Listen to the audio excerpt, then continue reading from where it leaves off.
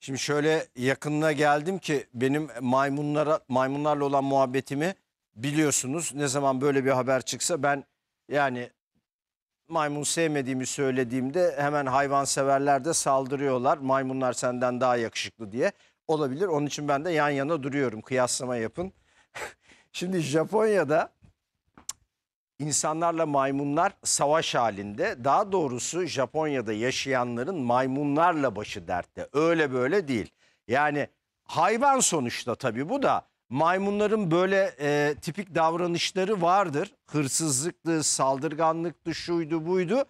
Evlerden de içeri girmeye başladılar ve Japonya'da da çok sayıda insanı yaralayınca artık yetkililer de önlem almanın şart olduğunu söylediler. Çünkü tam 20 günde 58 kişiyi yaraladılar. Tabii merak edilen şu. Maymunlar neden acaba birden bu kadar saldırganlaştı?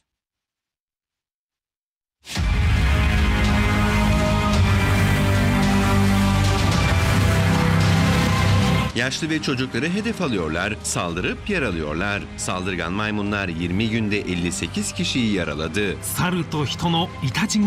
Japonya'nın başı saldırgan maymunlarla dertte. Ev pencerelerinden içeri girmeye çalışan, bölgedeki anaokullarına sızmayı deneyen Japon maka olarak bilinen maymunlar genelde çocuk ve yaşlıları hedef alıyor. Saldırıların halk için riskli boyuta ulaşması nedeniyle uyuşturucu tabancalı özel ekipler kuruldu. Ancak maymunlar o kadar zeki ki belli bölgelere bırakılan ilaçlı yiyecekleri yemiyorlar. Hatta hiç ilgilenmedikleri için yakalama girişimleri çoğu zaman başarısız oluyor. İnsanlara genelde arkadan saldıran maymunlarla karşılaşınca ne yapılması gerektiğine dair halk bilgilendiriliyor. Yapılması gerekenlerden biri göz temasından kaçınmak, bir diğeri kıyafet veya battaniye gibi nesneleri kullanarak büyük görünmeye çalışmak ve sessizce geri çekilmek. Bölgede ilk kez görülen seri saldırıların nedeni konusunda ayrıntılı araştırma başlatılırken maymun sürüsünün tam olarak nereden geldiği ve neden saldırganlaştıkları hala bilinmiyor.